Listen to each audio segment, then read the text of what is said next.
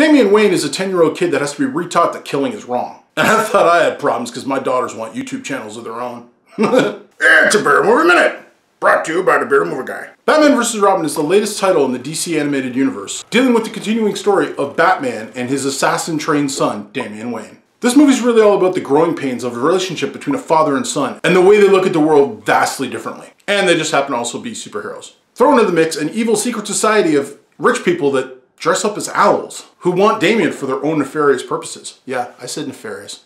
I said it properly. Batman vs. Robin has some decent animation, good voice work, it does do a good job of having father and son have some interrelational growth, while still telling an entertaining Batman story. I give Batman vs. Robin 3.5 beards out of 5. Thanks for watching, till next time, stay bearded.